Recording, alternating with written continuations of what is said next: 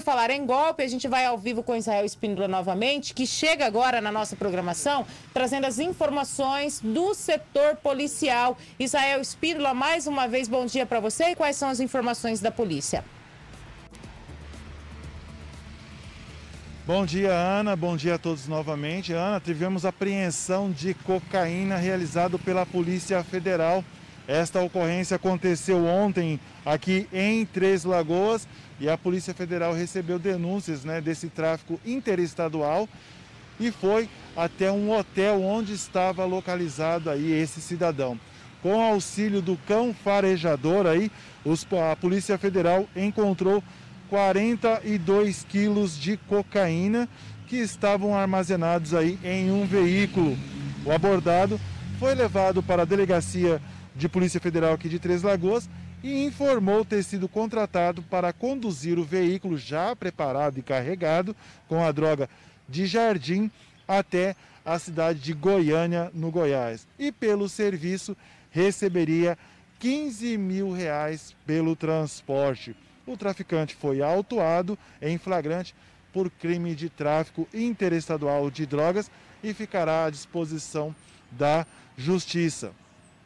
Ainda sobre os crimes de ontem, a Polícia Rodoviária Federal, em fiscalização na BR-262, já ali na, na Avenida Ranulfo Marques Leal, no quilômetro 5, por volta das 21 horas, abordou um veículo né, em, estacionado de forma suspeita e dentro deste carro estava um condutor de 41 anos.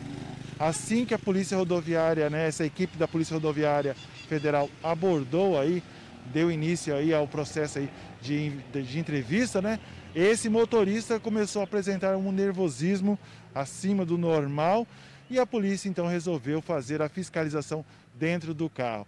Assim que desceu do carro, ele já anunciou que no porta-luvas estava uma pistola calibre 6.35 e que seria para uso da sua defesa. Ele também informou que não tinha porte de armas. Este homem foi preso, a arma também foi apreendida e foram encaminhados para a DEPAC aqui de Três Lagoas. Agora, olha só, no último final de semana, um homem de 57 anos teve a sua casa furtada. A residência, localizada na rua Davi de Alexandria, no Jardim Alvorada. De acordo com o registro policial, este homem informou que no sábado, às 15 horas, teria saído da residência e só tinha retornado na segunda-feira. Quando voltou, notou que a porta da frente da sua residência havia sido arrombada e dentro da residência haviam sido levados aí uma televisão smart, né, e também um ventilador. Como na rua não há sistema de, de câmeras, né, para que possa identificar aí o suposto ladrão ou os ladrões, o caso será investigado pela segunda delegacia de Polícia Civil.